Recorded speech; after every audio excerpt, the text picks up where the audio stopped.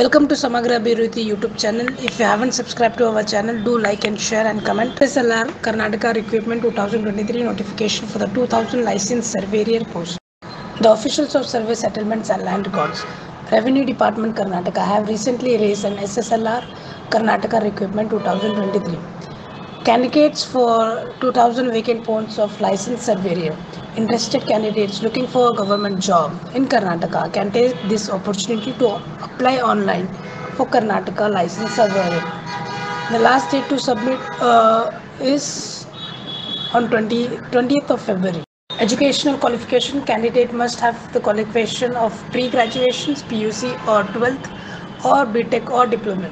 Retired with at least 10 years of land surveying service in the Land Survey Revenue and Land Records Department of the state government or Sur- Surveyor of India or government sector institutions or private institutions are also eligible for this license. Limit for a candidate is 18 years whereas the upper age limit is 65 years. Selection process the candidate will be selected on the basis of competitive exams online written which will be conducted by the officials. Uh, applying candidates need to pay a thousand rupees as an online application fees.